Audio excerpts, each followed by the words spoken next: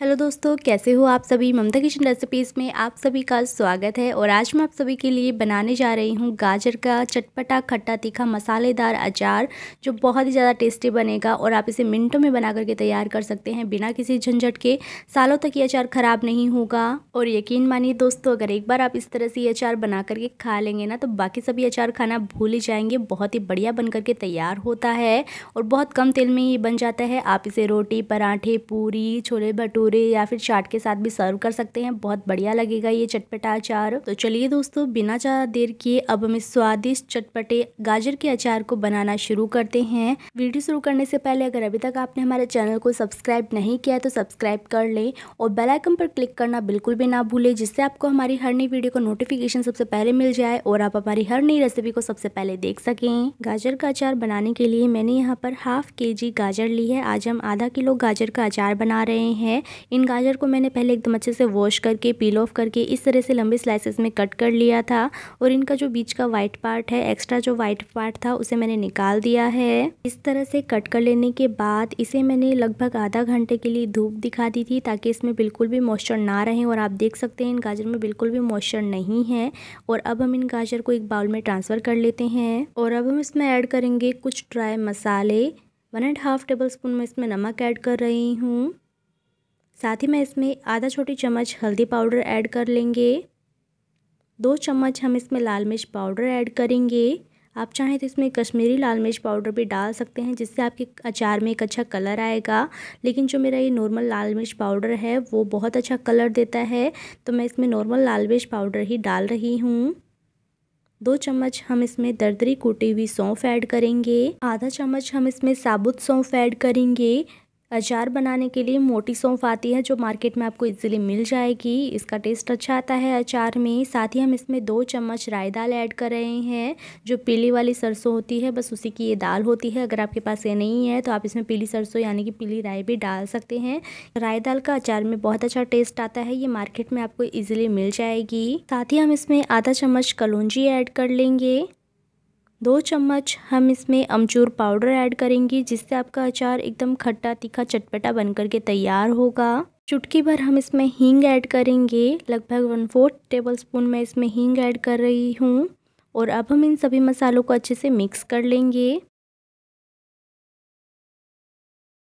सभी मसालों को अच्छे से मिक्स कर लेने के बाद अब हम इसमें ऐड करेंगे दो टेबल स्पून सरसों का तेल मैं इसमें कच्चा सरसों का तेल ऐड कर रही हूँ। कच्ची घनी सरसों का तेल मैंने इसमें ऐड किया है, जो हमारी हेल्थ के लिए अच्छा रहता है। सिर्फ़ दो चम्मच ऑयल से ये अचार बन कर के तैयार हो जाता है। तो फ्रेंड्स, ये अचार आपकी हेल्थ के लिए अच्छा रहेगा और साथ ही इसका टेस्ट में कोई जवाब नहीं है। बिना किसी झंझट के मिनटों में ये बन करके तैयार हो जाता है। और अब हम इन सभी मसालों को अच्छे से मिक्स कर लेते हैं। ऑयल डालने से ये सभी मसाले आपस में चिपक जाएँगे, गाजर एकदम अच्छे से कोट हो जाएँगे। सभी मसालों को अच्छे से मिक्स कर लेने के बाद अब हम इसमें ऐड करेंगे एक चम्मच विनेगर मैंने यहाँ पर वाइट विनेगर लिया है। आप चाहें तो इसमें कोई भी विनेगर डाल सकते हैं, जो भी आपके पास अवेलेबल हो। बस आपको इसमें ज़्यादा विनेगर नहीं डालना है। विनेगर डालने से अचार ख़राब नहीं होता है, ज़्यादा लंबे समय तक चल जाता है और अचार का टेस्ट भी अच्छा आता है। लेकिन अगर आप ज़्यादा विनेगर डाल देंगे तो अचार का टेस्ट बिगड़ जाएगा। इसलिए आपको सिर्फ़ एक चम्मच विनेगर ही डालना है इसमें और इसे हम अच्छे से मिक्स कर लेंगे अचार में। ये देखिए, हमने इसे एकदम अच्छे से मिक्स कर लिया है और अब हम इसे ढक करके लगभग बारह घंटे के लिए साइड में रख देंगे। देंगे जिससे ये सभी मसालों को एकदम अच्छे से अंदर तक ऑब्ज़र्व कर लेगी। गाजर में एकदम अच्छे से फ्लेवर आ जाएगा सभी मसालों का। आप चाहें तो इसे ओवरनाइट यानी कि सात से आठ घंटे के लिए भी छोड़ सकते हैं। बीच में आपको इसे एक से दो बार चलाते भी रहना है, ताकि सभी मसाले आपस में एकदम अच्छे से मिक्स हो जाए और एकदम अच्छे से चारों तरफ़ गाजर पर कोट हो जाए। और बारह घंटे के बाद ये आप यह अचार देख सकते हैं। गाजर ने भी अपना मॉइस्चर छोड़ दिया है और सभी मसाले किस तरह से एकदम अच्छे से मिक्स हो गए हैं। गाजर पर एकदम अच्छे से कोट हो गए हैं। गाजर के अंदर तक ये मसालों का फ्लेवर आ गया है। और अब हम इस अचार को एक कंटेनर में निकाल लेते हैं।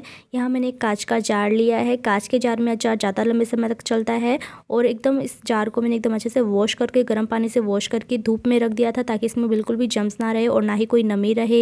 अचार डालने के लिए आप कोई भी कंटेनर ले, वो एकदम साफ़ सुथरा होना चाहिए और आप अचार बनाने के लिए जो भी बर्तन ले, वो भी एकदम साफ़ सुथरे होने चाहिए। बिल्कुल भी नमी नहीं होनी चाहिए और अनाज के हाथ भी बिल्कुल नहीं लगने चाहिए। अगर आप इन सभी छोटी छोटी बातों का ध्यान रखेंगे तो आपका अचार बिल्कुल भी ख़राब ख़राब नहीं होगा और लंबे समय तक चलेगा।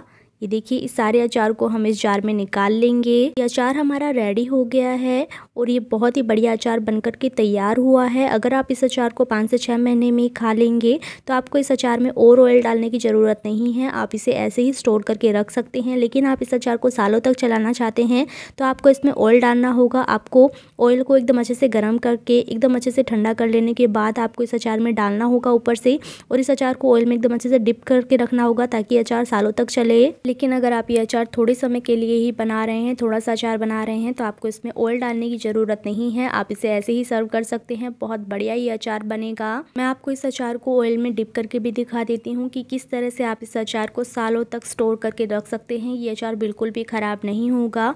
यहाँ मैंने गैस पर एक छोटे पैन में ढाई ग्राम तेल को गर्म होने के लिए रखा है।